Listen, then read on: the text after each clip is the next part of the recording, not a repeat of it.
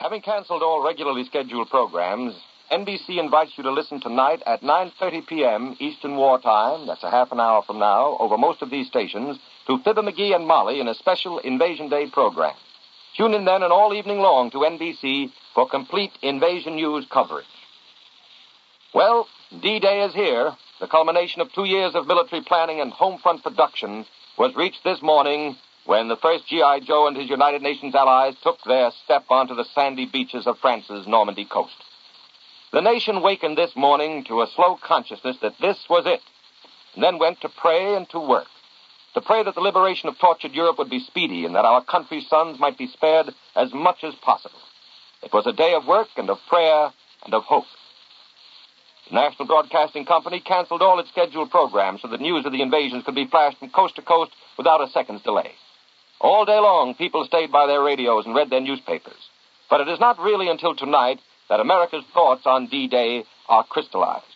So now NBC will switch to its affiliated stations from Hartford, Connecticut to Oklahoma City so that this united nation of the United Nations may see how common is our purpose and how strong is our unity.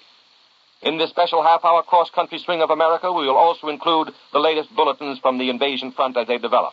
And here is one which has just been handed to me. From New York, the Brazzaville radio, as heard by NBC monitors, claims that General Dwight D. Eisenhower has set up his headquarters in northern France. The Free French station assert, asserts rather that Eisenhower's staff includes four famous French marshals. This broadcast was monitored in New York. Brazzaville says, when questioned about these reports, Allied official sources are said to have described them as slightly premature. But the Free French radio continues to broadcast the story of General Eisenhower setting up headquarters in northern France. The news of our landings on the continent reached New York an hour this morning when only night shift workers, radio station and newspaper people, and barflies were abroad. But there was no hilarity, no celebration in Times Square. New York's Mayor LaGuardia set the theme for Manhattan's D-Day observance when he called the City Hall employees into his office at noon for prayer. It's not an island. It was part of the close-knit United States, which had seen H hour and D-Day come, and which was determined to see V-Day, the day of final victory, come, as soon as the determination, work, skill, and fight of 130 million people, plus their good friends and fighting allies, could bring it.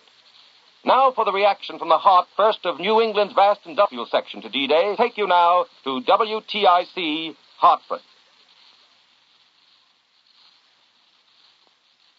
What is the reaction of Connecticut to the invasion? Here at a WTIC microphone to give the answer is Eugene E. Wilson, Vice Chairman of the United Aircraft Corporation, Chairman of the Connecticut War Finance Committee, and Chairman of the Aeronautical Chamber of Commerce of America. Mr. Wilson. In Hartford and Connecticut, the reaction was immediate and vigorous. We did not wait for June 12th. In Connecticut, we launched the Fifth War Loan with the invasion. We moved with the troops of General Eisenhower. Through the press and radio, we passed the word along to every town and hamlet. We began about 3.30 this morning, and soon our war finance committees went into action. The Fifth War Loan was underway even before workers on the night shifts had left their lathes and benches in our great war plants. When a few hours later our men and women daytime workers left their homes for the factories, thousands of them carried our Fifth War Loan battle cry, We moved with the troops. During the hours that followed, there was a tremendous and spontaneous reaction to get busy to buy war bonds. In three hours this morning, the giant whistle on the Scovill manufacturing plant in Waterbury had blown ten times. Each blast announced that another Scovill worker had bought a $1,000 Fifth War Loan bond. In the town of Ansonia, a high school boy was late for school this morning. He was late because he stopped along the way to sell war bonds, $600 in Fifth War Loan bonds. Thousands of people reacted to our battle cry, We move with the troops, and bought bonds in a surge that resembled the buying avalanche that followed Pearl Harbor. In the General Electric Company plant in Norfolk, Connecticut, by early afternoon, the workers had topped their quota and immediately pledged to double it. As the people of Connecticut caught the spirit of this fateful day, more and more thousands of them came into possession of war bonds dated July 6, 1944. It seemed as though everyone wanted that unique souvenir of this crucial day in the history of our country, the D-Day dated war bond. At this hour, we cannot give you a complete summary of Connecticut's reaction to this first day of the invasion. We've about three more hours to go until midnight. And right now, all over the state, the buying is heavy in D-Day dated war bonds. Today, Connecticut has done much to lessen the worry of our troops abroad. Connecticut has proven it is with the troops.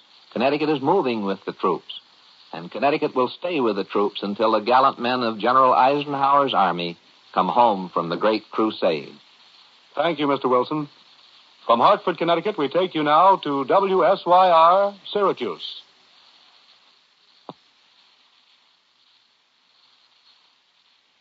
Reporting Central New York's reaction, here is Don Lyons. With NBC's Central New York Invasion Headquarters at WSYR on the air since this morning at 1243 when the first German announcement came through stating D-Day had begun, mothers, fathers, wives, brothers, and sisters of Syracuse and Central New York, men and women in service, have kept all telephone lines far busier than ever before, phoning in questions concerning the invasion. Two of WSYR's top news analysts Vanabone Kerr, just back from an assignment as a war correspondent in the South Pacific, and H.R. Ekins, former UP bureau manager in Rome and the Far East, have been on the air all day answering these questions. Perhaps the most often asked question, or one related to it, is one that we nor no one else, unfortunately, can answer. It showed better than anything else the tremendous tenseness and anxiety on the part of all those parents and wives who have men from this vicinity now in the invasion area. That question, summarized, was this. Can you tell me whether or not the infantry, the ground crew, the signal corps, the ordnance department, in short, whether or not all services are involved in the invasion? Here, coming in over our telephone wires, we had the best cross section of reaction on the part of Central New Yorkers that anyone could want. There was no gleeful shouting and cheering, or raucous screaming of sirens. Instead, throughout the city, all churches were open, most of them filled all day. And in the tears in the voices of men and women phoning this station, you can understand why there were no cheers. This was no occasion for celebration, but an occasion for worry. Is my son in this? How far behind the lines would my son, an airplane mechanic, be? Are the troops from Northern Ireland taking part in the invasion? My son is there. Question after question like these, headlines, Central New York's reactions. And then came the perfectly natural but impossible to answer questions relating to the length of time necessary to complete the invasion landing successfully. These were the more basic and sincerely thoughtful reactions of listeners to this NBC Invasion Headquarters station, WSYR in Syracuse. But a little more superficially and perhaps a little more colorfully, there were those usual reactions that one always finds in time of an emergency. Such things as being able to walk for blocks in the warm, early summer weather and hear through open windows of houses you passed an almost continuous flow of news from the various radios in those houses. In restaurants, people hurriedly grabbing breakfast or lunch, depending on how early they had awakened. At the same time, not tasting their food in the excited savoring of the news from their papers and loudspeakers. This was Syracuse today, D-Day, June 6, 1944. Not a different city from any of the others, but a city fully conscious of the seriousness of the mission undertaken and the time which must elapse before the final battle and victory. From the studios of WSYR in Syracuse, New York, Don Lyon has brought you Central New York's reaction to the invasion. We take you now to WTAR Norfolk.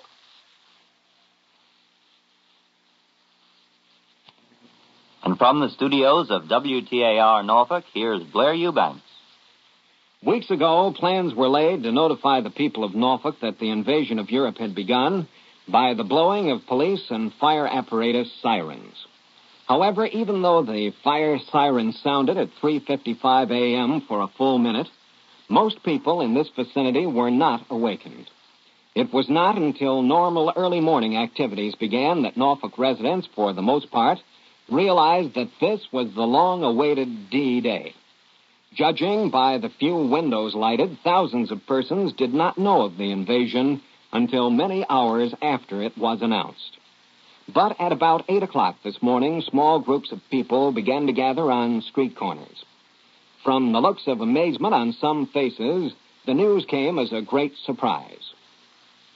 In Norfolk, great wartime seaport that it is, the Navy is always predominant. Yet the 40 or 50,000 sailors who roam the streets of Norfolk did not seem excited or surprised by the news of the invasion. Even though thousands of civilians in this area were uninformed, other thousands were kept right up to date on what was happening in Europe. These were the ones who were fortunate enough to have their radios tuned to WTAR. This station stayed on the air all night and relayed all the news. Overnight, a few Norfolk residents became experts. They not only listened to the radio, but carefully noted everything that was said. Therefore, when a question was asked, these embryonic news analysts would supply the answers. Here is an example. On the elevator this morning, there were a couple of ladies who didn't know anything about the invasion and said so in tones loud enough for everyone to hear. One of the fair but uninformed damsels happened to ask where the landings were made. Suddenly, a sleepy young man was galvanized into action and spoke up and gave one of the most learned discourses heard on or off the radio concerning the invasion. It was impressive, especially so before it dawned on me that it was almost word for word what Robert St. John had said some time before. The young lady was so impressed that she forgot to get off at the proper floor and consequently rode the elevator all the way to the top. She was not the only one who stayed on, however. I hung around to find out just how long it could go on. Apparently, the answer was indefinitely. Because even though there were regular stops by the elevator, the young man kept right on talking. Before the young lady could get back to the proper floor, the embryonic news analyst had branched off into H.V. Kaltenborn and Elmer Peterson. When his feminine listener left the elevator, the young man looked quite dejected, or maybe he was just plain sleepy. He had a right to be, for apparently he had stayed up all night listening to NBC. We take you now to WSPD in Toledo.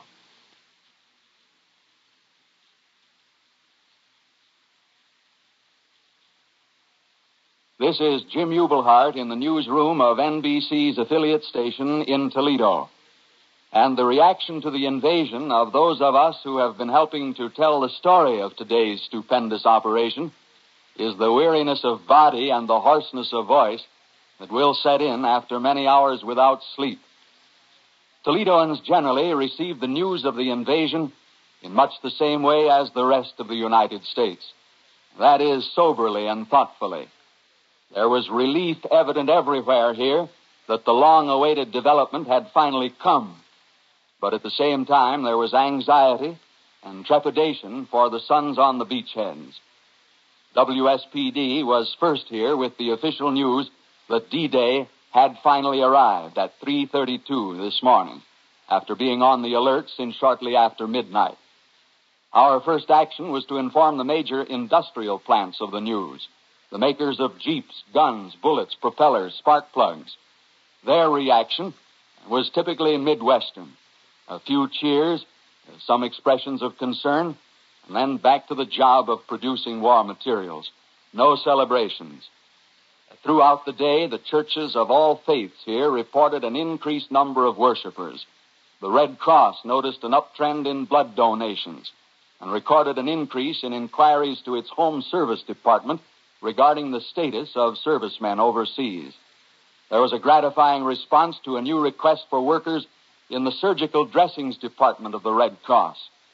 The public library and war bond headquarters added many new names to the list of volunteer canvassers for the fifth war loan drive.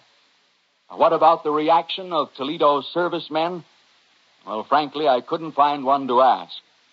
But I do have here with me a fellow broadcaster who was recently given a medical discharge from the Army uh, just as he was about to sail from an embarkation port uh, for invasion duty overseas. He is former Corporal Charlie Norman, who watched his outfit sail without him. Uh, Charlie, what's your reaction to today's invasion news? Well, my first reaction is like a prospective bridegroom left at the altar.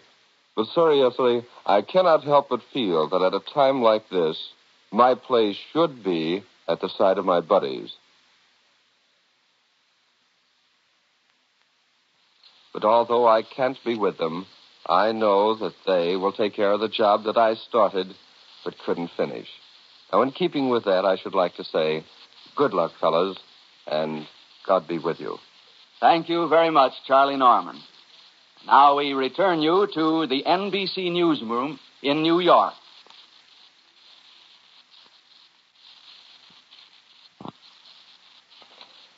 Back in the NBC newsroom in New York, Hartford, Connecticut, Syracuse, Norfolk, Virginia, and Toledo, Ohio, all their reactions appear to be the same grim determination to see this through.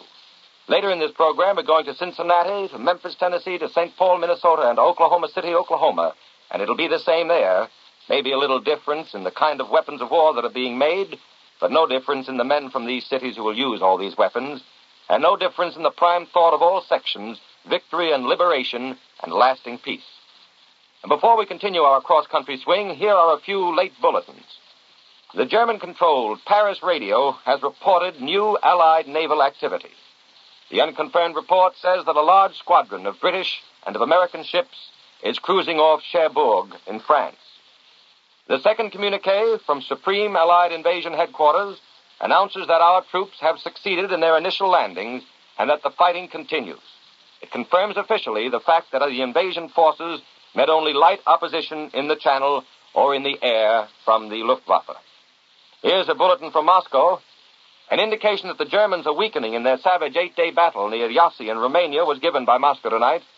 The Germans in the last few days have suffered heavy losses, and Tuesday brought into action comparatively smaller forces of tanks and infantry, the Moscow broadcast said.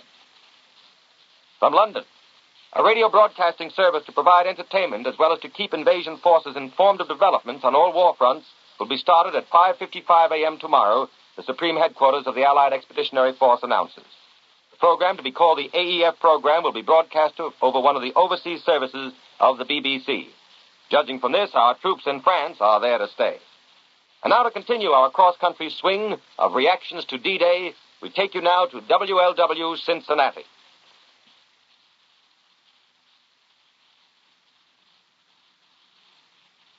Good evening. This is Arthur Riley of WLW in Cincinnati.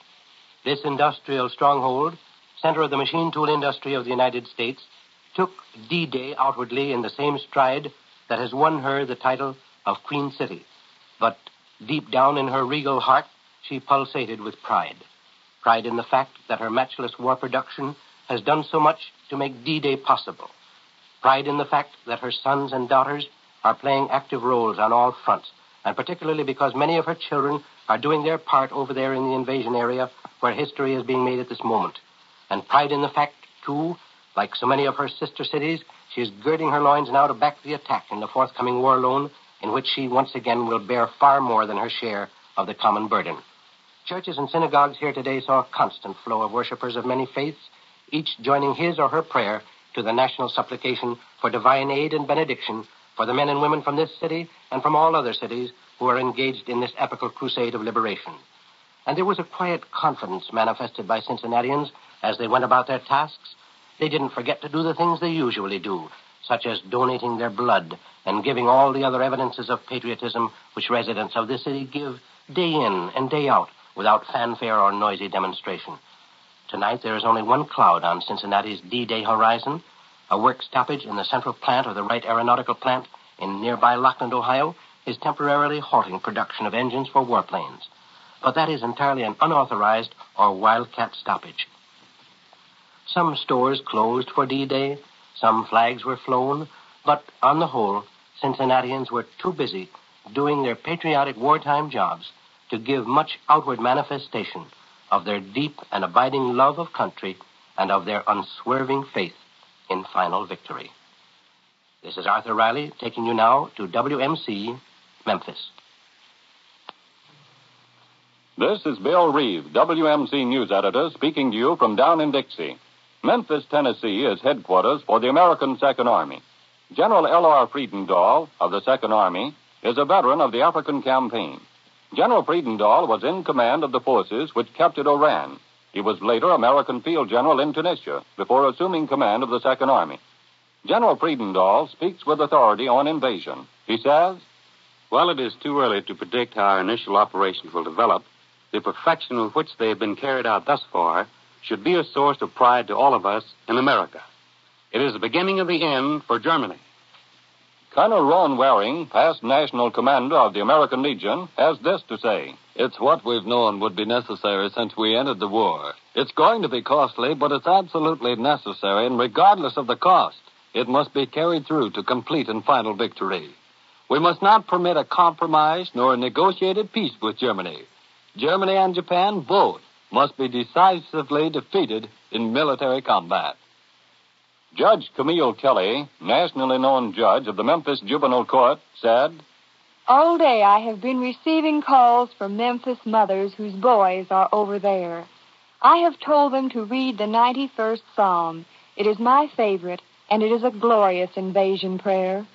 Our staff stopped for a silent prayer today, and we read the 91st Psalm together. Seven of our juvenile court staff members have boys in the service, and today was a day of tension for everyone.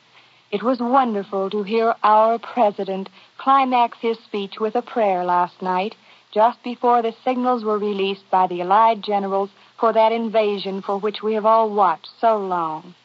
This war will not be won altogether over there, but a big part of it is to be won on our knees over here.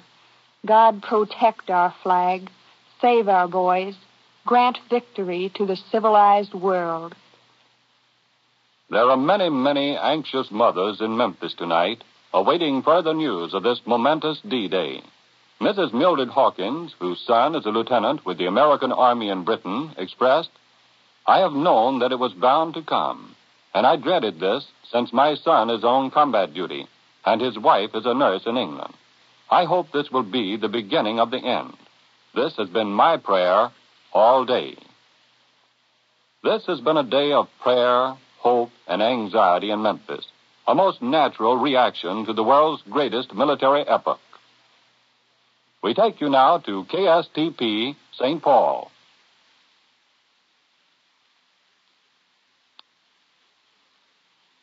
This is Brooks Henderson speaking for KSTP Minneapolis and St. Paul. The people in the north central states almost literally got down on their knees to receive the news of the Allied invasion of France.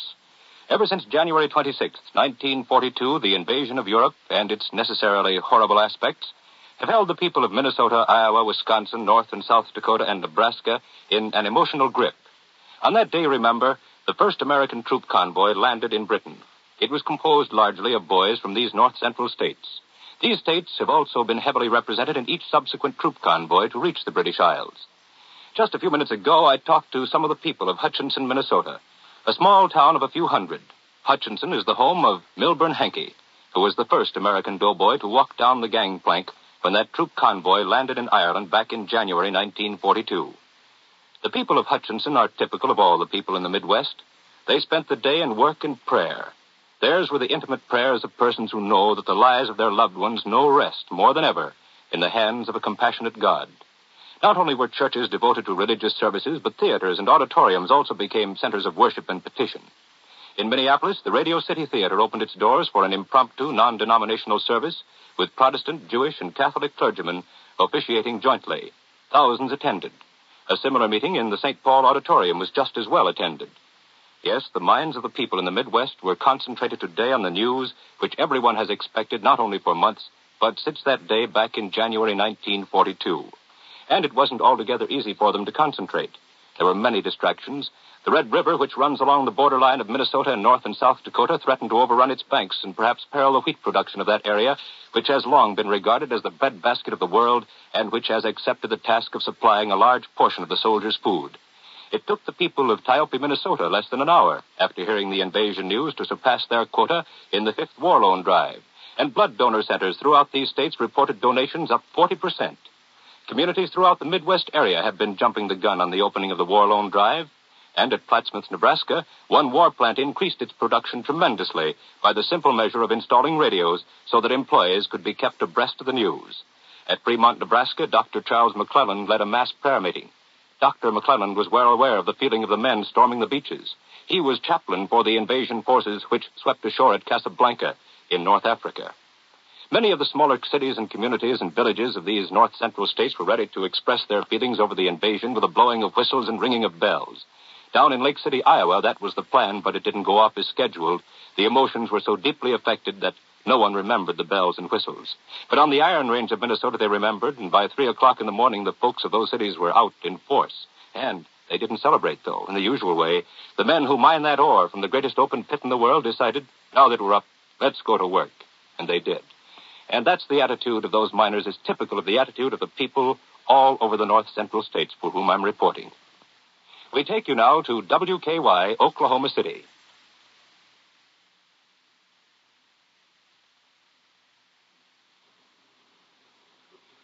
Good evening, everyone. Oklahoma City's reaction to D-Day was one of patriotic and spiritual determination. War workers at the Douglas Aircraft Plant were thrilled to hear the news that Douglas C-47 transport planes dropped the first invasion troops in France. For hundreds of these transport craft have been built right here at Oklahoma City. But these war workers didn't take the day off to celebrate. They stayed on the job. They've been working seven days a week in an effort to turn out 200 extra C-47 transport planes in the first six months of this year. So far, they have reached 91% of their production goal and 80% of the time allowed. But here's how D-Day really affected these Douglas war workers. They're in a bond campaign. Yesterday, they bought $30,000 in bonds, all cash. Today, however, $58,000 in cash was invested in bonds by the first shift of workers alone, and there are three shifts. Close by the Douglas Aircraft Plant is the Oklahoma City Air Service Command, the nation's model air depot. Tears mingled with excitement and an air of grim determination at the headquarters of the Air Service Command as the thousands of civilian employees reported for work on invasion morning. While these war workers are a long way from the actual battlefronts, they feel the pulse of war more keenly because bullet scarred flying fortresses and flak ridden liberators from the far flung war theaters are flown to this air depot for repairs. And out there today in almost every office and hangar were workers who are directly touched by the long awaited news. Many wives, mothers, fathers, and sweethearts of servicemen believed to be in the invasion army gave their reactions to the press. Their comment showed unmistakably how keenly the news of D-Day affected them. For example, Loretta Rummelhart, who works in the Ordnance Department, said, I'm glad the invasion has started, although it makes me heartsick to know that it had to come. I think America will cut out foolish things, such as strikes, and really get down to business now. And then there is Colita Garrison in the Records Department. She declared, the news just makes me want to work a little harder. I have two brothers who are taking part in the invasion, one with the field artillery and one with the infantry. I didn't know whether to laugh or cry, so I did a little of both. Then there was the spiritual side of D-Day here in the Sooner State Capitol. At this very moment, the auditorium of one of the largest downtown churches is packed with men and women from all walks of life, gathered there to pray and be led in prayer by pastors of five large centrally located churches. There were other services, too, during the day in Protestant, Catholic, and Jewish houses of worship. And then there were the solemn words of Robert S. Kerr, Oklahoma's Sunday school teaching governor, who said, Let us pray God unceasingly for our fighting men, for their success, and that we may be worthy of them. Dal Mooney speaking. We return you now to the NBC newsroom in New York.